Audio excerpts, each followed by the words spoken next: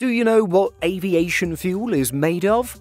Commercial aircraft today use a specific power source. The two most common types of fuel used by aircraft are Jet A and Jet A1. The first is commonly used in the US, while the Jet A1 is used globally. Both are made up of kerosene, a product of extremely refined oil. What differentiates jet fuel is the presence of several additives to ensure the fuel can be used safely without crystallization or ignition. There's one other type of fuel, Jet B. It's usually used for extremely cold climates. Jet B is made up of 30% kerosene and 70% gasoline, and it's extremely flammable, so most operators avoid using it.